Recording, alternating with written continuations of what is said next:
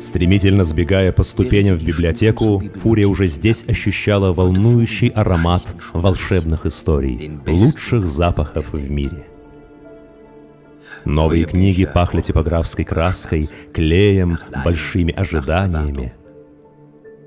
Старые книги благоухали приключениями, своими собственными и теми, о которых они рассказывали. Хорошие книги источали аромат, в котором все это было сплетено воедино и приправлено легким налетом магии. Выдающийся роман Кая Майера повествует о магической власти книг. Власть, магия. Откройте для себя время библиомантов.